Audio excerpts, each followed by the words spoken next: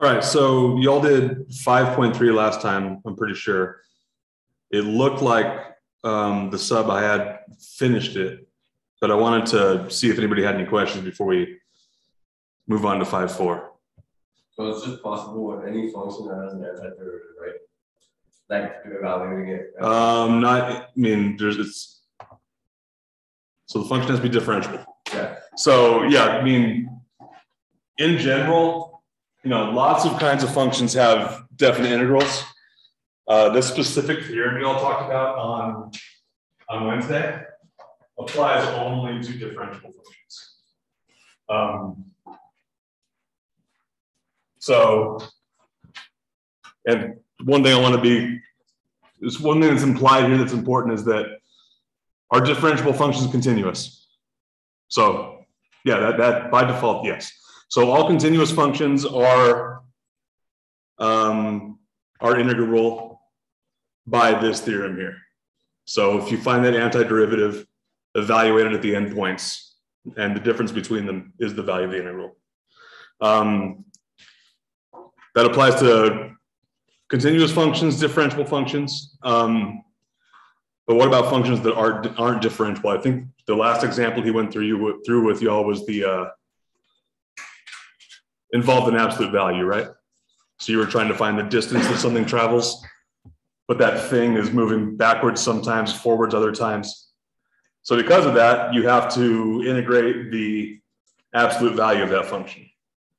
And something we've talked about with absolute value functions is that they're inherently undifferentiable at those points where they, you know, bounce, metaphorically speaking.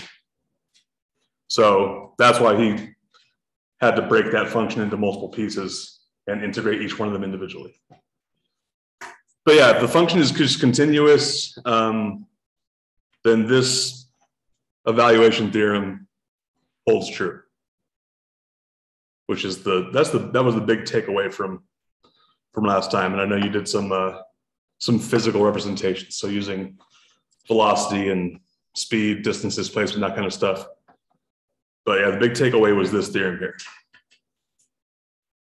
Any other questions?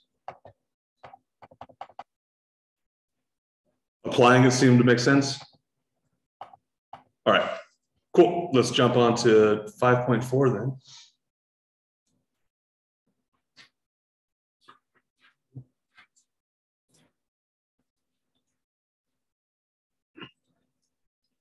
So this is the last section I have for you.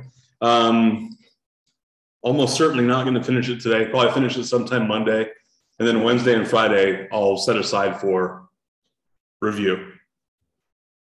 Uh, so whatever questions you have, uh, bring them to class at anytime after basically Wednesday or Friday, and we'll we'll talk about it. But then, you know, after next week, we're gonna or I'm not going to see you until the final.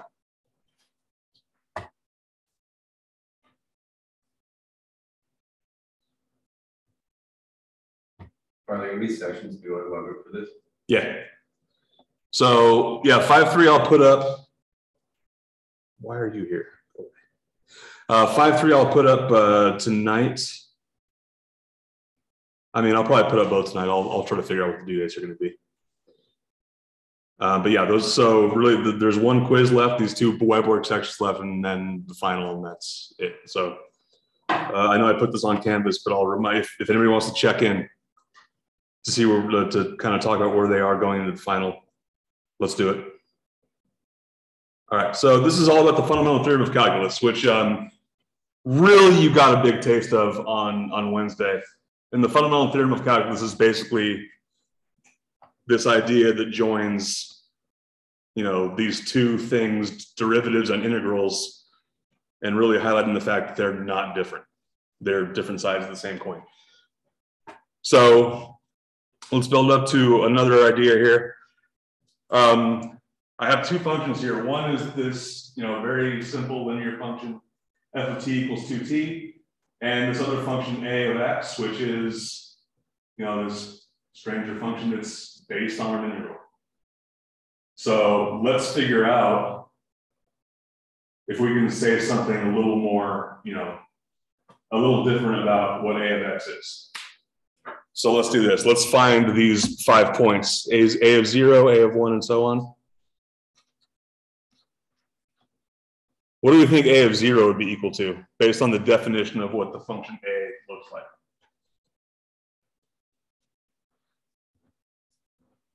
Zero, because it's just, it's gonna be an integral of zero, zero. Right, so does it even matter what the function is in, the- in that case?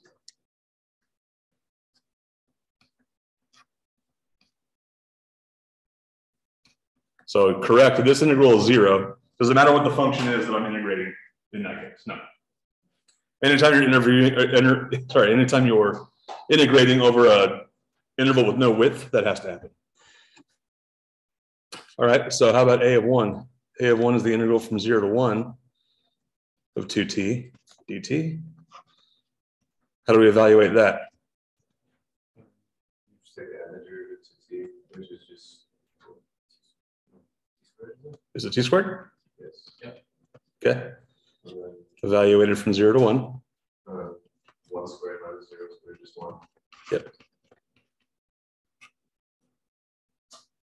And by the way, I, I didn't look carefully at his notes before I posted them. So if I'm using notation that's any different from what he did, let me know. But I, I doubt that I am. I just want to be sure.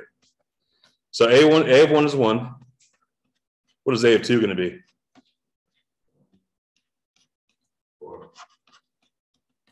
So antiderivative is the antiderivative going to be the same every time? Yeah. So really what we're varying, I'm just moving the right endpoint of this interval.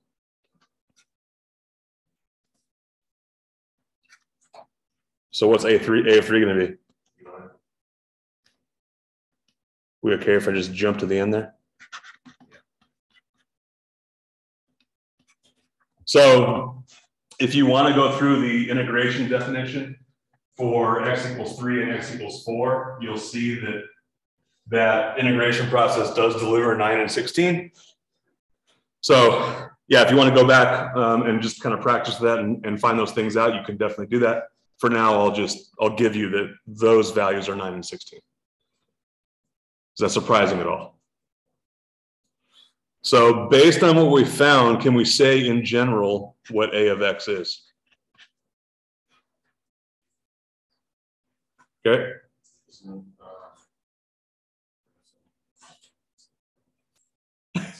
it's X squared, right? Which, you know, based on what you now know about how integrals and derivatives, how they kind of play together, doesn't sound like it's a huge surprise, and it really shouldn't be. Yeah, so if f of t is some function, and I have some other functions based on its integral, which now you know it means it's based on its antiderivative, that should be x squared. Any questions about that? Okay. So one thing I did see in his notes is he really called the evaluation theorem the fundamental theorem of calculus part two, which it kind of is. I don't know, it seems weird to see part two of something before part one. Um, but again, these are numbered in the order that people developed and proved them, not the order it makes sense to show to somebody else. So part one is uh, of the fundamental theorem of calculus is this. So if I have some continuous function, f, then I can build this other function, capital A, that's defined like this.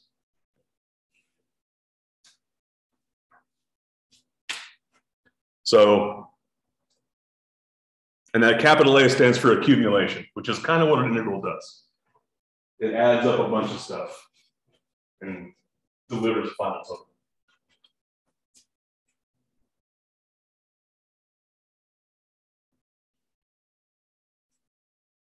So I think right now it might not make any sense why this thing is at all valuable, but really what we're what's valuable about this function is that capital A is an antiderivative for whatever that function is. So again, ha- having seen the evaluation theorem already, probably probably a small addition as opposed to this monumental thing. Uh, the fundamental theorem of calculus is really the power of it is uniting these two branches of calculus, derivatives and integrals. Uh, they're really just different flavors of the same thing. So And that's because they're both related by yeah, so by, or by derivatives, depending on which direction you want to think of it as. Um, but yeah, so if you have a function, yeah, of the derivative of one, if you, so if you have f and you take its derivative, the integral of that derivative is whatever you had, is the function you had before. So those, the processes of differentiation and integration are inverse of each other. Uh, another thing we can say is that a prime of x is f of x. So if I'm telling you that a is an antiderivative for f, then I'm also telling you the derivative of a is f. Those two things, I'm just using different words to tell you the same idea.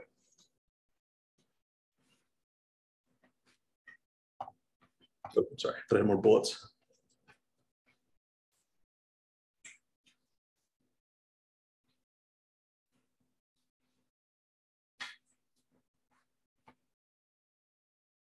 So again, the, the, the word fundamental there is because that's what calculus is built on, the, the idea that these two things are united. All right, so I have this function here. G of x is some integral from a to x of some function f of t, or I know what the function f of t is. So can I find what g of x and g prime of x are?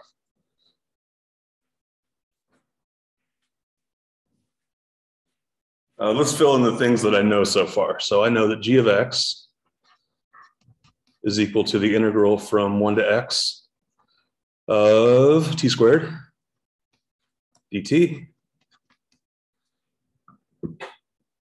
So that is what g of x is. Um, some terms you might hear, like that's like an open form, like that is g of x, but you know, it's kind of hard to make calculations from that. It's kind of hard to go to your calculator with if I asked you what G of four was, that might be, it would take you a little while to get there.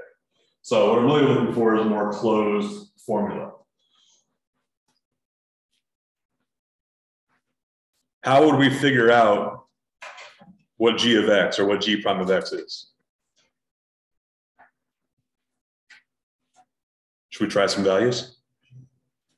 So let's try a couple. So this, inter this interval begins at one, so let's Start there. What's G of one?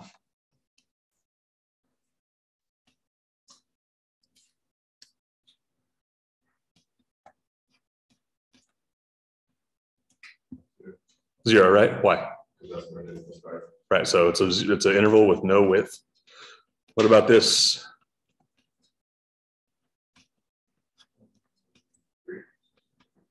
How'd you get three? Uh, two squared minus one squared do not want to do two squared minus one squared. So this is an integral, right? Um, and you could, you, so for whatever, for what it's worth, that's a very common mistake when we're first learning integrals. Stuff to actually find antiderivative. You need the antiderivative. You don't just work with the, the function. So if I want to integrate something, I have to, I have to deal with its antiderivative. So one third t to the third. Yeah, so I have to deal with that antiderivative. So one third t cubed, and then evaluate that thing from one to two. So that'll be eight thirds minus one third, which is seven thirds. Okay, I, not obvious, right? So let's at least get one more.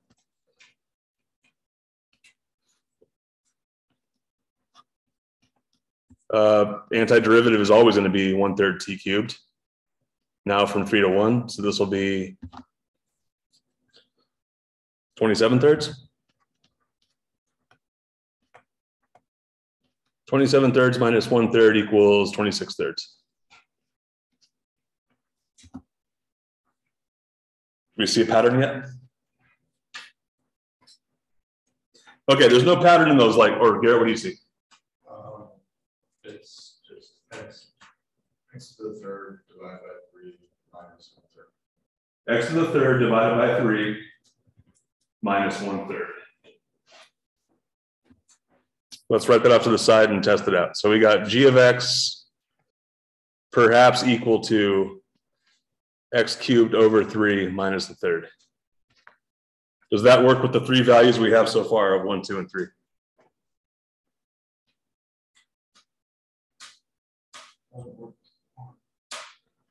I think it does. But as a- Because G of one is zero, right? G of one for Garrett's formula would be one third minus one third. So I think, I think the first three are consistent. And also, yeah, looking at these end results, it's hard to see any pattern emerging, but like, what's the dial I'm actually turning here? The only thing I'm really modifying Is the end. is the end, is the right end of this interval. Which manifests itself here, right? So one third minus one third, eight thirds minus one third, twenty-seven thirds minus one third. So basically, this thing is the variable, right? So the next one would be sixty-four thirds minus one third. So I'm gonna say, yes, this is. This is g of x. Can we find g prime of x then? The antiderivative of g? What's the derivative of Garrett's thing? Garrett? X squared. So look at the, the, the relationship between G prime and F.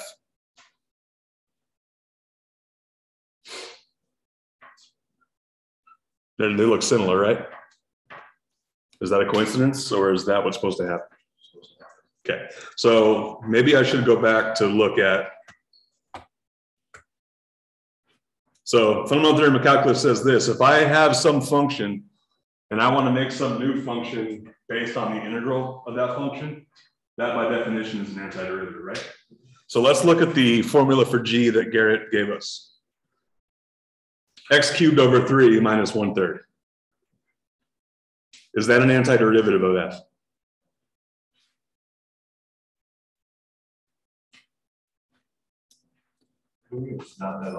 Yeah, absolutely. That's what, that's what I'm getting at.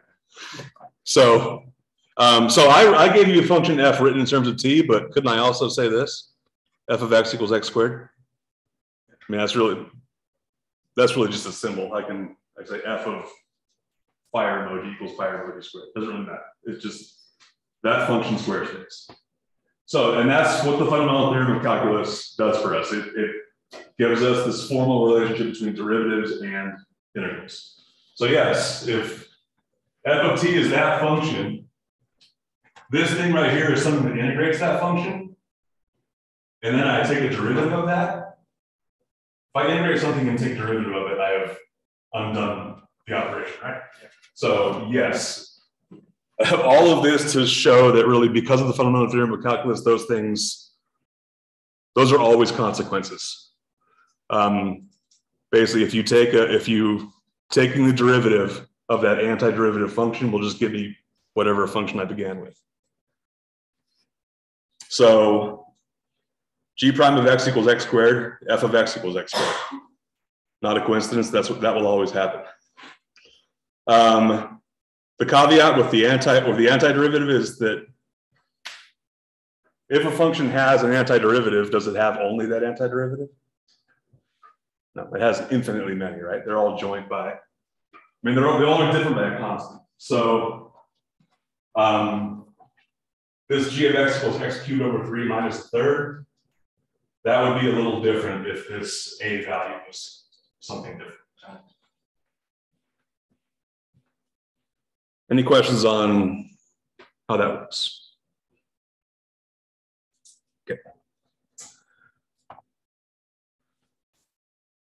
What is a prime of x if that's my function?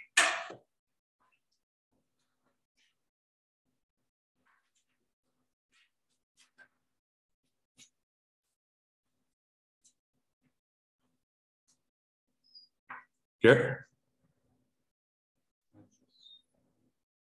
What do you mean by just that? So a prime of x equals, Uh, T, Q plus T. so really close, except it's actually gonna be, Yes. it'll be in terms of x. And I'll, that's a very subtle thing, but it's also a very important thing, so.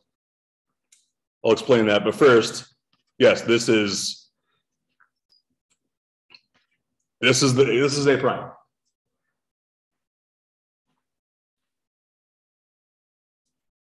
So let's talk about, you know, what these different symbols are doing.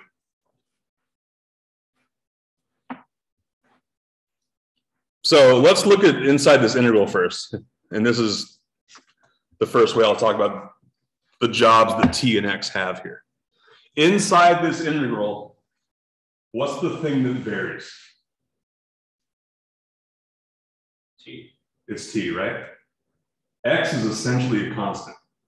x is just the, the thing that represents the, the right end of that interval. It's, it's where I stop integrating. So inside the integral, the variable is t. And that's why you have to use two different symbols. If I had x playing both roles, it's, it's very ambiguous. It's not well defined what's going on. So let me, by the way, does it bother anybody that there's not like a constant on this thing? One thing I want to point out is this. Can we find the antiderivative of that function? I should ask this way. Does the antiderivative exist? It exists, right? It's a continuous function, so it must have an antiderivative. I actually don't have a good idea how to find it, but that's okay. Um, the fundamental theorem of calculus says that since that function, you know, the integrand inside the, the integral is continuous, its antiderivative exists. So if I take the derivative of that antiderivative, I have that function. To make sense, now I'm jump, we're jumping a lot of layers with each one of these things. I want to make sure we're okay with how they're all behaving and interacting with each other. We got plenty of time to talk about this if we if we need to. Okay. How about this thing?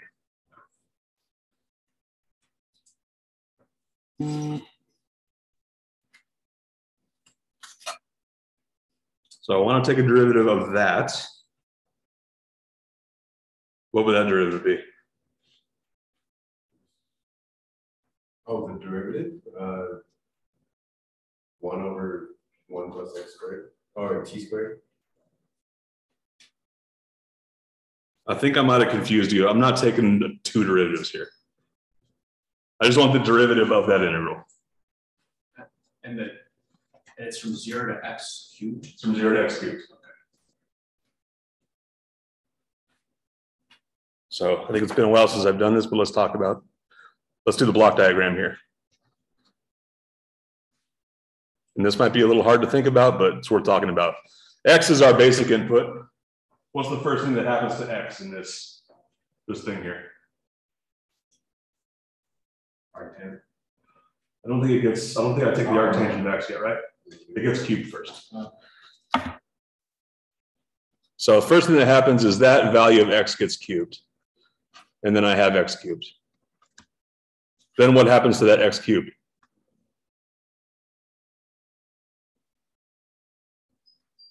That's a little bit harder to see. So let's let's pick a value. Let's say x equals two. All right, what am I going to do? How am I going to evaluate this thing if x equals two? All right, first I'm going to say, all right, let's cube two. And then I get eight. So now I have the integral from zero to eight of arctangent t dt. So then I'm just going to take that integral, right? So I'm going to scoop up all that integral stuff and call that the the second block here. So I'm going to integrate from zero to um, x cubed of f of t dt. And then what comes out is, actually I should call this x, huh?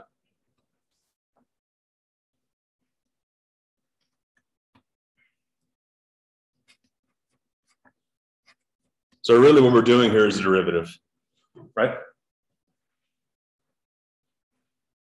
The derivative of arctangent? Or? Well, the derivative of that integral. But really what we have here is we have a composite function. X gets cubed first, and then that X cubed gets used as the upper limit of integration. Is that a term I've used? Is it limit of integration? Okay, so limits of integration are essentially this. If you take a definite integral, definite integral by definition has to have an interval beginning and an interval end. That's the lower limit and the upper limit of integration. So the limits of integration are basically the ends of the, the interval that you're integrating on. So first thing that happens to x is it gets cubed. Then the next thing that happens, then what happens to x cubed is it gets used as the upper limit of integration for some integral. So we're taking a derivative of some composite function. What's the thing you have to use when you're taking a derivative of a, a layered function like this? Chain rule. Chain rule, right? So now we're going to use chain rule to differentiate this thing from the outside in. What's the derivative of this thing?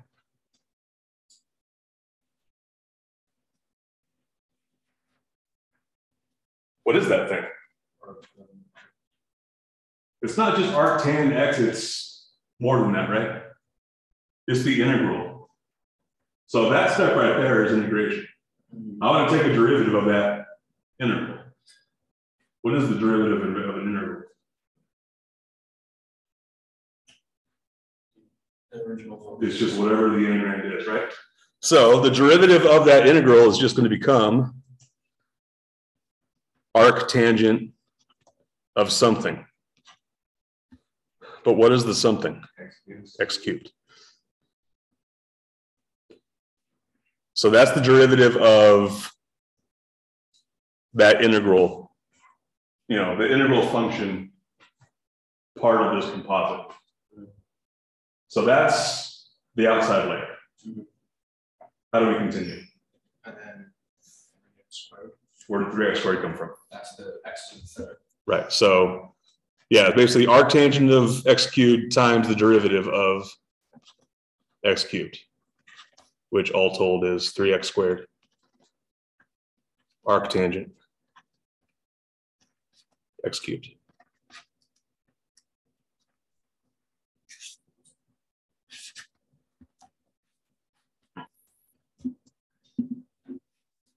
And that's the derivative of the integral. That's the derivative of the integral. So the one, like the ones we just did, you know, was from constant to x, right? Just x. So because of that, don't really need to involve chain rule. Basically, you know, my block diagram would look like this. X gets fed into an integral, and then that's the only thing you're really dealing with. So the complication here comes from the fact that your inner function is is something that's not trivial. Any questions here?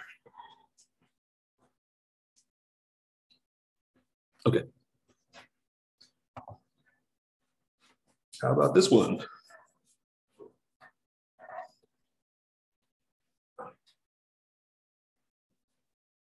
Integrating from some variable x, to some constant eight over t to the seventh dt. It's seventy-six, it's just an X. So what? Is it just seventy to the power of X?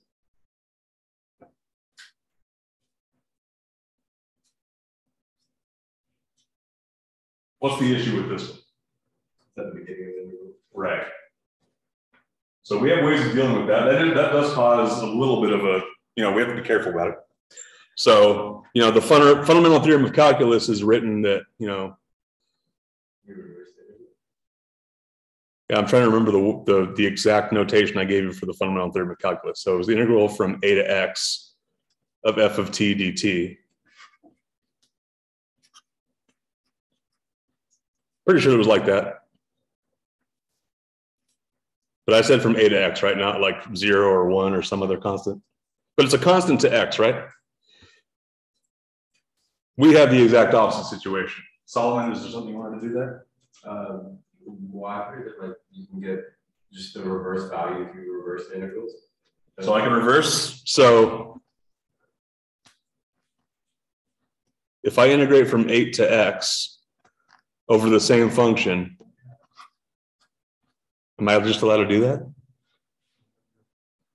It's negative now. Okay, that's what I want to make sure I remember. So yeah, reversing the limits of integration. Gets you the opposite integral. So this is something, is this something you can deal with? Um, and again, I'm trying to find the derivative of this. So I'm gonna use that minus sign as. So I'm really trying to find that, right? But is that a derivative you can now take? What is that derivative?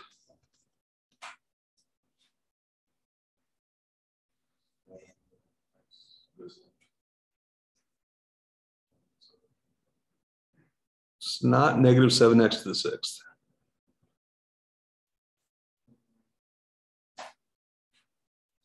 Let's do this. Let's actually, let's, let's bypass the fundamental theorem of calculus and actually do this with an antiderivative.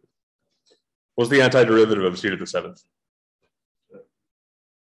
What's that? Seventeen to the sixth. That's the derivative. Oh, the, uh, Right. one over eight T to eight. So this der- antiderivative would be, take that negative, negative one eighth, t to the eighth, and I'm gonna integrate that from eight to x, right? So this would be a negative one eighth, now let's do a new line. Negative one eighth, x to the eighth, minus, minus one eighth, um, eight to the eighth, and I'm gonna leave that like that for now.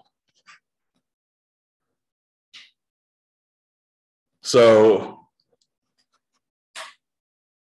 Sorry about all the confusion with me leaving stuff off like this, but I think this is gonna be valuable to do this the long way. Are we okay with this being that integral? Found the deri- the antiderivative, negative one or one eighth T eight, two to the eighth. Evaluated at both limits. So now I have this thing. Um, so this right here is equal to this integral. But what was the thing I wanted to figure out in general? I want to find the derivative of this, right? So what is the derivative of the thing we just got with respect to x?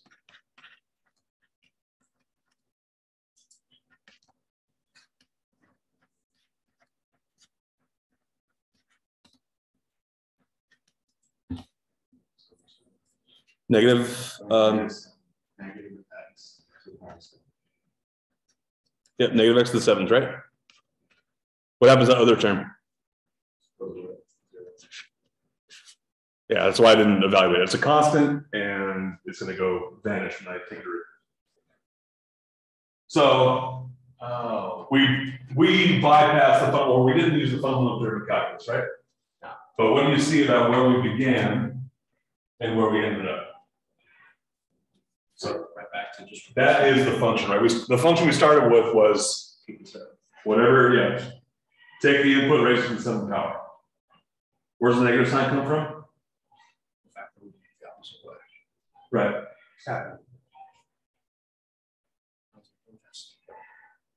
Yeah. Okay.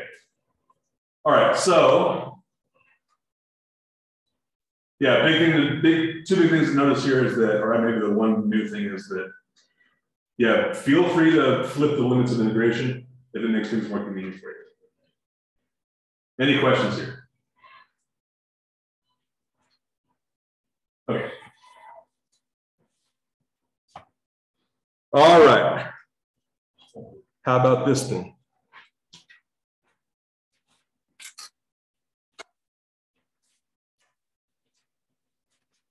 Jarek, you seem displeased. Why?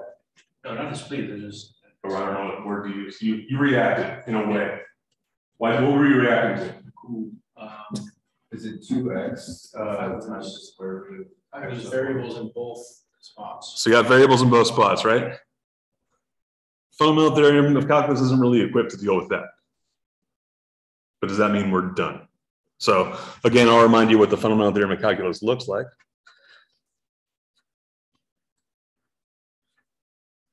You know, it's really only structured for integrating from a constant to some variable over some integrand function. Is there a way I can get there, Garrett? Can't you separate it since we separated? How? uh, Sine X to one. X, right, those- So let's try this.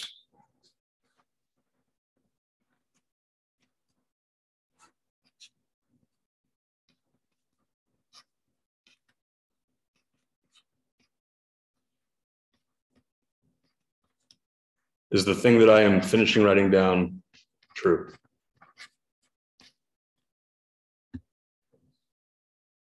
Garrett says yes.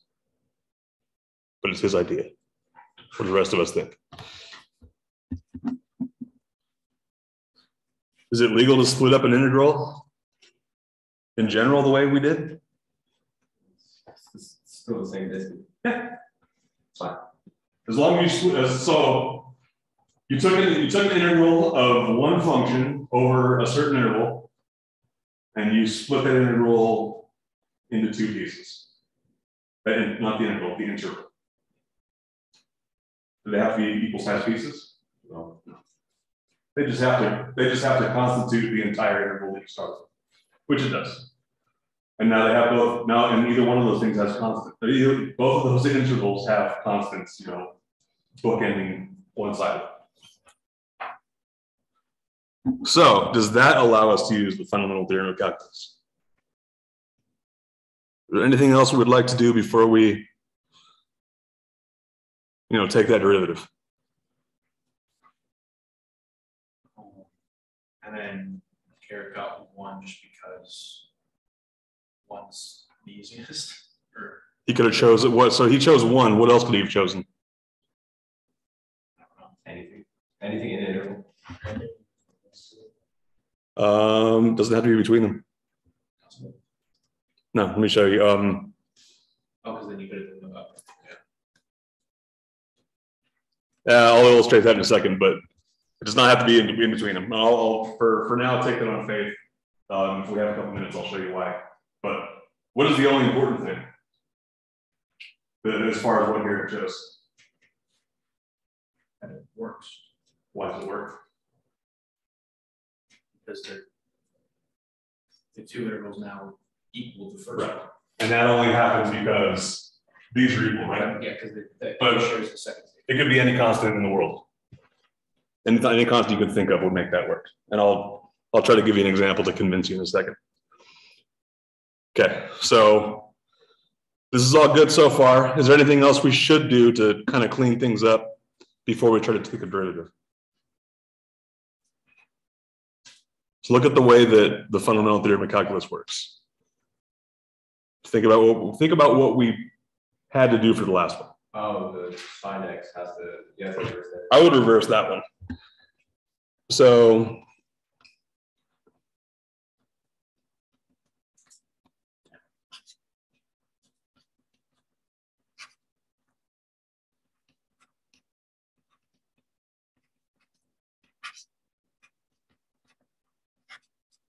That's a good move.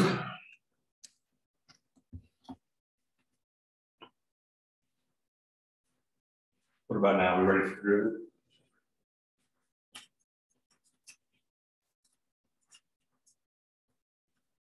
We can handle them one integral at a time. Uh, let's try and see, see where we end up. So I'm gonna call this thing h of x just because I don't want to write the whole thing down again. So what is the derivative of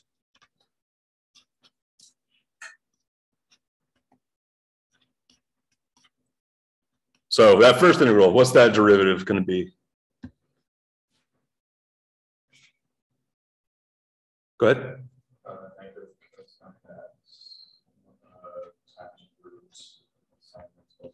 Negative cosine x, times roots, sine x plus Negative cosine x times the root, uh, square root of, do we agree with that? Okay, so do you have to take the root of that, like square root of sine x plus one, or is it good like that? do we have to take the derivative of the square root of sine x plus one? So let's reflect on the power of, uh, rule. Um, the chain rule, I don't think is what Solomon, Solomon's really asking about is is this confusion about you know, what things do we have to differentiate and what things do we have to integrate? So I'm going to reflect or refer us back to this example we did a minute ago. So we took a derivative for this one, right? Is it something we actually needed to do? So if we would, I mean, and we're still learning how to use this theorem, which is great. It's the first, the first day you're looking at it. But because of that theorem, you know, so two things here. We never took a derivative of this function. We took an antiderivative of it. Do we need that? It needs to- or- Right. So Is it just- from a practical standpoint, that's, that's a powerful thing about this theorem is that, um, no, you don't need to either differentiate or anti-differentiate the function inside the interval. It's just square root of two, uh, well, square root of x plus one. Negative. Yeah, so let's, let me ask a couple things here. Why did sine of x replace t plus, to the t? Because that's the derivative, that's, yeah. So that's, that's a chain rule consequence. So we're composing this function, basically, the first thing that happens to x is it gets sine taken of it.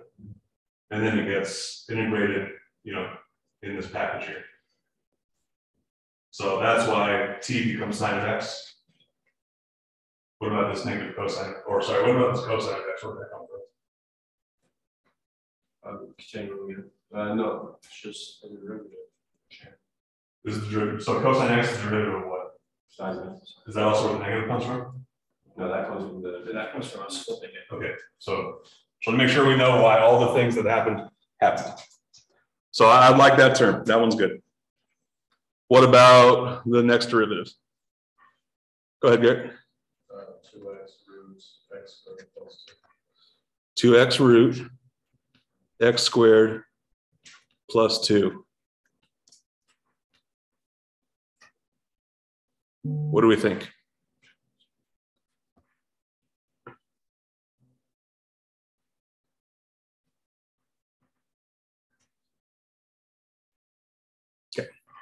Yeah, I like it.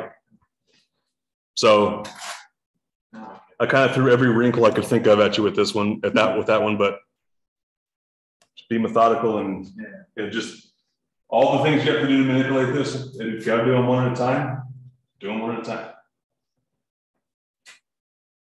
Uh, any questions on how we wind up with that? Okay. Um, the one example I wanted to talk about was, let's say I want to integrate from zero to five of x dx. No reason you do this, but could you do this? The integral from zero to negative two of x dx plus the integral from negative two to five of x dx. Is that okay? So, yeah, and that, that, that makes perfect sense. Um, and, and you could work it out algebraically and find out that those, both those sides are equal. I could do this.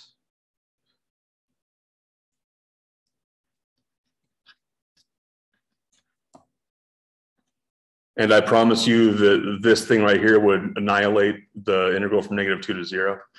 But basically, all that to say that even if the constant doesn't make sense, even if it's not in the middle of whatever the larger interval is, um, but that integration is still going to be the same. You, should- you can still write it the exact same way. Yeah, absolutely. In fact, if Garrett would have said instead of one, just generic A, we're fine.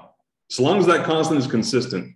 So like where you're breaking up the interval is basically A is the end point of one, uh, sorry, the right end of one interval and the left of the next, you're fine.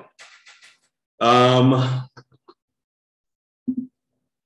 yeah, let's not, so let's talk about this. So if you had a set of real numbers, like if you had 20 numbers, like if I took everyone's age in here in days, how would you find the average of that? Together, then divided by the number. Right. So add them all together divided by what you got, right? So if you have a certain like a countable set, like a finite number of numbers, you can do that, right? What if you have infinitely many numbers? How would you find an average? Does that even make sense to talk about? So that's one of the last things we're going to talk about, and we're just going to kind of dip our toe in right now. We'll we'll do more uh, more detailed things for the next week, but basically what we're trying to get after is this. This function right here, this curve from zero to 24, or from t equals zero to t equals 24, you know, how many, how many F of T values or how many capital T values are, are represented there? Is it twenty-four? Is it more? It's infinitely many, right? So even though there are infinitely many numbers, you can get an average. So basically, this blue line here, this horizontal blue line is the average of all of these, all of those black uh, values. You can actually average them all out, even though, you know, if you were to list them, you would know you've done. So now that I've told you it can be done, how could we go about finding what that average value is? Because essentially what I'm asking here, the title of that slide is average value of a function. I want to take a function that has, you know, by definition, infinitely many things. I want to average those infinite, I want to average those infinitely many things together. Solomon? Is it, uh, for functions, is it only for like trig repeating functions? No, I mean, that function right there is probably not repeating, but I could definitely find an average for it. I mean, yeah, so it, it looks like you're just. Because you're not, you're not actually averaging infinite, infinite numbers, you're just averaging like twenty-four to zero, that's what it looks like. Yeah, but how many numbers are there between zero and 24? Well, twenty-four? there are infinite, what I'm saying is you're not actually. Like, is, is it that you're actually averaging infinite, or or that you're just taking an estimate? It won't be an estimate, it'll be exact. The-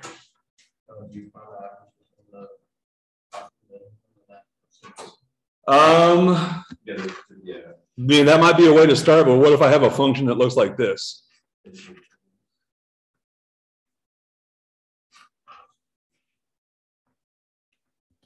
So if I average the absolute minimum with the absolute maximum, um, that, that's probably not a good representation of that thing, because it's near its maximum for Most of for most of that interval.